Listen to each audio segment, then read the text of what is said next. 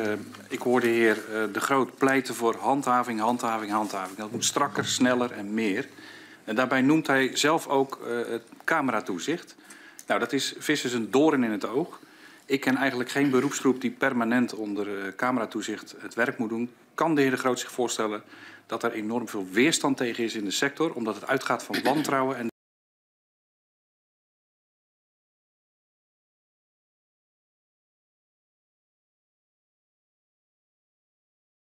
en de visser criminaliseert.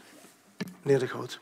Ja, voorzitter, er zijn uh, talloze uh, officiële rapporten waarin uh, de term nalevingsbereidheid staat. En die nalevingsbereidheid is bij de visserij is die, gewoon ontzettend laag. Dat, hè, dus dat heb ik niet bedacht. Dat zeggen de instanties die daarover over gaan. En die zeggen, ja, de vissers hebben eigenlijk geen zin zich aan de wet te houden. Ik kan me wel voorstellen, want de zee is, vrij, is vrij. En dat is ook de traditie dat je daar helemaal vrij bent. Maar we hebben nu helemaal afspraken erover gemaakt. En uh, voorzitter, als ik mag, ik, ik ben ooit uh, als student uh, heb ik meegedaan naar een onderzoek naar het functioneren van de Algemene Inspectiedienst. Want zoals een toenmalige minister Brax was erop gevallen. Dat is echt al ontzettend lang geleden, want ik ben hartstikke oud.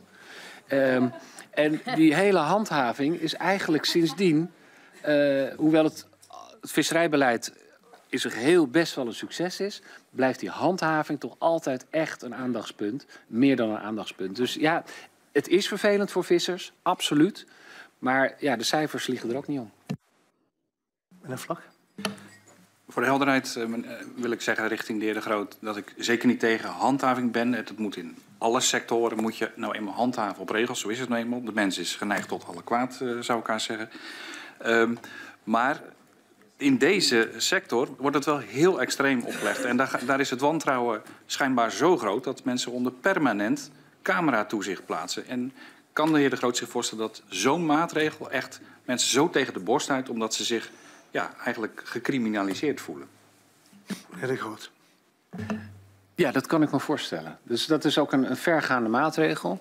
Uh, en als de heer Vlag een, een beter voorstel heeft... waardoor we eindelijk na, na 30 jaar discussie uh, die handhaving beter gaan doen... dan uh, sta ik daarvoor open. Dat horen we misschien dadelijk in de termijn van de, van de heer Vlag. Dan gaan we naar mevrouw.